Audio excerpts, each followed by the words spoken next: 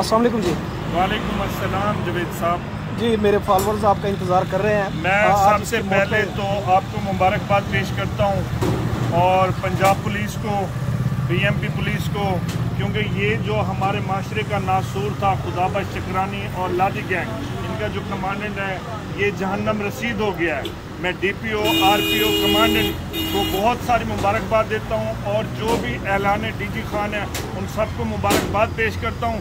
लेकिन मैं साथ ही बताता चलूँ कि ये एक लादी चला गया जिस तरह आपने सदीकी साहब बताया है। इसी तरह से छोटे छोटे और भी लादी हैं, उनके खिलाफ भी ऑपरेशन होना चाहिए, क्योंकि हमारे डीजी खान में क्राइम बहुत ज़्यादा है। जिस तरह इस बगैरत और नासूर शख्स ने ये जो काम किया था, उसको उसकी सज़ा मिल चुकी है। और इन मेरे अल्लाह ने चाह और जीजी खान को जो है ना एक अमन का गहवारा बनाएँगे और बेमिसाल ये एक शहर बनेगा।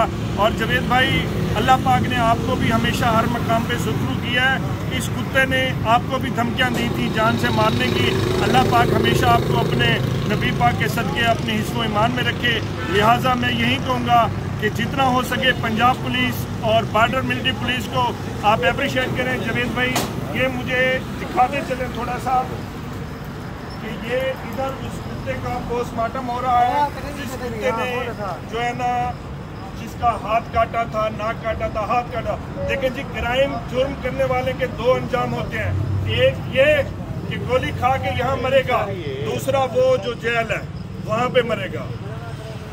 तो मैं अपने नाजरीन को और जवेद भाई आपके जो फॉलोअर हैं उनको बताता चलूँ कि कोशिश करें जहाँ क्राइम हो रहे हैं वहाँ आप हमारी फोर्स को जो है ना उनके साथ ताउन करें और बीएमपी पुलिस ने भी बहुत अच्छा काम किया दोनों फोर्स को मैं सलाम पेश करता हूँ।